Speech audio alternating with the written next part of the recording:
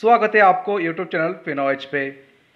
अगर आप हमारे YouTube चैनल पे नए हैं तो चैनल को सब्सक्राइब ज़रूर कर लीजिए। वीडियो अच्छा लगे तो लाइक एंड शेयर ज़रूर कीजिए।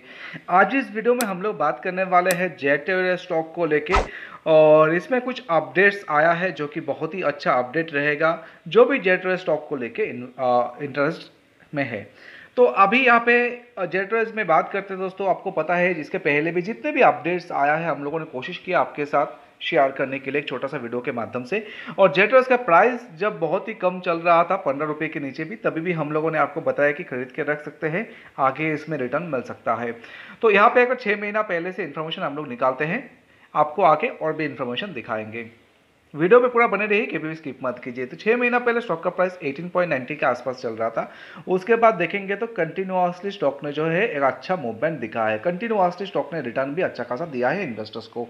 एक महीना पहले का इन्फॉर्मेशन निकालते हैं तो एक महीना पहले स्टॉक का प्राइस 27.55 के आसपास चल रहा था। तो आप समझ सकते हैं कि आ, मतलब कितना ज़्यादा रिटर्न दिया है दोस्तों। 27.55 के आसपास चल रहा था। उसके बाद स्टॉक ने जो है कंटिन्यूसली अच्छा खासा रिटर्न दिखा है। कंटिन्यूसली स्टॉक ने जो है मजबूती दिखाया है और उसके पीछे क्या रीजन है ऑलरेडी आपको पता रहेगा।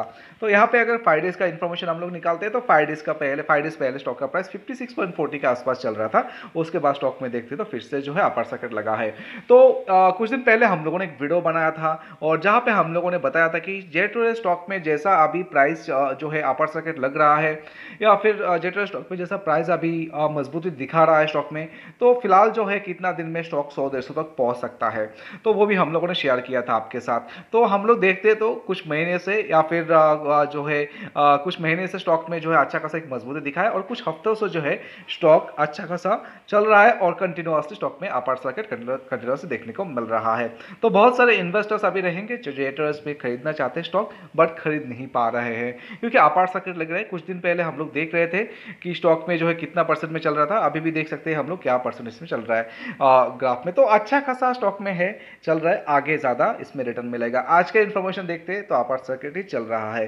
तो यहाँ पे अगर आज का हम लोग देखते हैं इन्फॉर्मेशन कितना रिटर्न दिया है स्टॉक ने तो देख सकते हैं कि फोर का जो है स्टॉक ने रिटर्न यहाँ पे अभी तक दे चुका है आज का इन्फॉर्मेशन जैसे कि आपको पता है, ये हम लोग गूगल से इन्फॉर्मेशन शेयर कर रहे हैं आपके साथ तो यहाँ पे लाइव इन्फॉर्मेशन हम लोग को देखने को मिलता है। अच्छा यहाँ पे रहता है तो यहाँ पे देखते तो 4.98 परसेंट का जो है एक अच्छा रिटर्न दे दिया तो छोटा स्टॉक 4.98 परसेंट का अच्छा रिटर्न यहाँ पे बोल सकते हैं हम लोग। एंड अमाउंट में बात करते हैं तो थ्री पैसे का आज रिटर्न दे दिया। थ्री में जा सके लग चुका है। तो बहुत ही ज़्यादा यहाँ पे जो है स्टॉक में खरीदारी चल रहा है, और खरीदारी तो नहीं बोल सकते। जिन लोगों ने भी स्टॉक अगर देखते हैं, हम लोग लेके भी रखा है कुछ महीना पहले से तो कोई अभी ये स्टॉक को शायद से बेच नहीं रहा। होगा। क्योंकि यहाँ पे सबको पता है अभी कि स्टॉक में तो अच्छा खासा रिटर्न मिलने ही वाला है। अगर जेट में हम लोग बात करते तो हम लोग को पता है कि एयरलाइंस में से सबसे पुराना जो है वो है जेट और सबसे अच्छा भी जो बोल सकते हैं कि चल सकता है या फिर चल रहा था पहले भी जेट बीच में इसमें जो इशूज़ आया था उसके चलते जेट में जो है डाउन ट्रेंड देखने को मिला था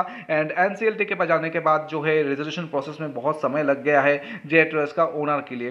तो जेट के ओनर के नाम, बहुत सारे नाम आए थे। उसके बाद जो है मिस्टर मुरारीलाल जलान का नाम सामने आ गया और वही अभी जेटरस का फाइनल जो है ओनर है, जेटरस का मुरारीलाल जलान। तो यहाँ पे अभी आगे का इन्फॉर्मेशन देख लेते हैं, क्योंकि जेटरस जैसे कि पुराना कंपनी तो हम लोग एक बार यहाँ पे सोचे कि एक बार देखते हैं कि जेटरस में अभी तक कितना रिटर्न या फिर कितना लॉस दिया है इन्वेस्टर्स को। तो दस साल का इन्फॉर्मेशन निकालते तो दस साल में जेटरस ने जो है नाइन्टी का जो है लॉस दिया है अपने इन्वेस्टर्स को, जो कि बहुत ज़्यादा हम लोग बोल सकते हैं कि इन्वेस्टर्स को लॉस देखने को मिला है जेटरस के स्टॉक में।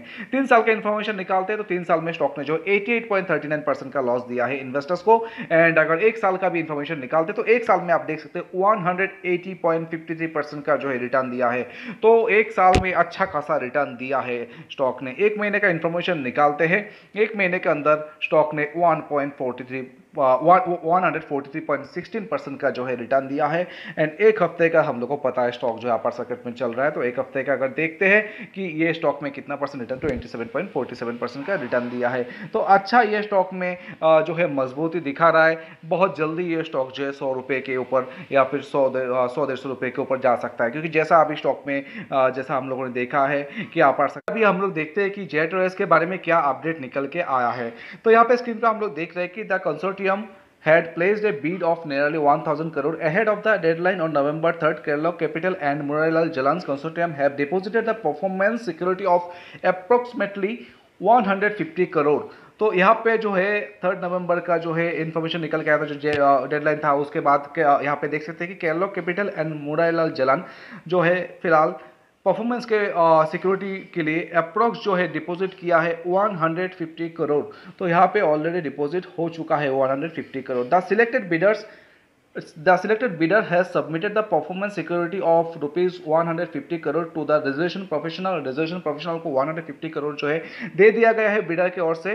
तो यहाँ पे आगे का इन्फॉर्मेशन देखते हैं। तो under the norms of the insolvency and bankruptcy code a bidder has to deposit this amount to be to bind the party in a bond तो यहाँ पे जो एक रूल्स रेगुलेशंस था इंसॉल्वेंसी एंड बैंक के कोड में, उसके उसमें, उसके बेसिस में देखते हैं। तो बिडर को जो है एक डिपॉजिट अमाउंट देना था, जो इन लोगों ने दे चुका है। This is to ensure that the bidder doesn't withdraw its plan later उसके पीछे क्या रीज़न है?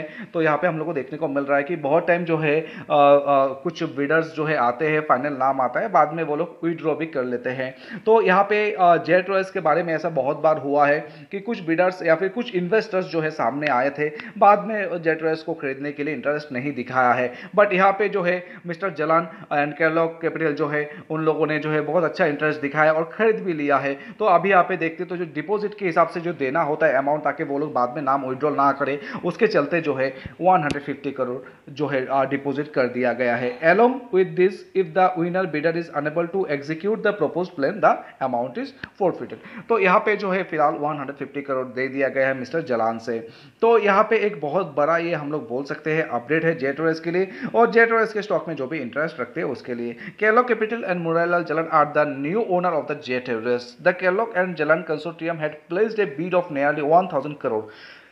The lenders will also get 9.5% of equity in JTRS along with 7.5% equity in Loyalty Rewards Company, Intermiles. The consortium had outbid pilot turned entrepreneur Sanjay Mandvaria of FSST, FSCT who had placed a bid along with imperial capital तो यहाँ पे जो है अभी नाम final हो चुका है ये हम लोग को पता है बहुत दिन हो गया है। एंड द कर्लो कंसर्टियम जो ये प्ले आ, आ, जो प्लेस है बीट है of nearly one thousand crore तो इन लोगों ने जो बीट रखा था वो लगभग जो वन थाउज़ेंड करोड़ के आसपास रखा था। और उसके बाद जो यहाँ पे बताया जा रहा है कि the lenders will also get nine point five percent of equity तो जो लेंडर्स है उसको जो है nine point five percent equity मिलेगा। एलोंग विथ उसके साथ seven point five percent equity in loyalty rewards company InterMiles तो उसके साथ भी जो है 7.5 परसेंट इक्विटी मिलेगा। तो यहाँ पे जेट वेज में एक अच्छा खासा हम लोग बोल सकते हैं कि अभी मजबूती दिख रहा है या फिर अच्छा खासा अपडेट्स भी आ रहा है। कंटिन्यूसली हम लोग देखते तो जेट वेज के बारे में अच्छे अपडेट्स आ रहे हैं कंटिन्यूसली तो जो कि जेट वेज के इन्वेस्टर्स के लिए एक अच्छा खबर हो सकता है।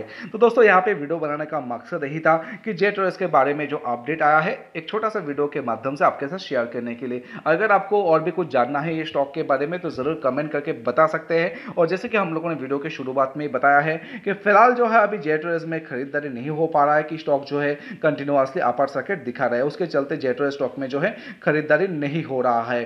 तो यहाँ पे जिसने भी खरीद के रखा है तो कोई भी अभी फ़िलहाल बेच नहीं रहा है, ऐसा हम लोग को लग रहा है। तो वीडियो को यहाँ पे कंप्लीट करते जो भी हम लोगों ने अपडेट दिया है आपको कोशिश की एक्यूरेट अपडेट देने के लिए।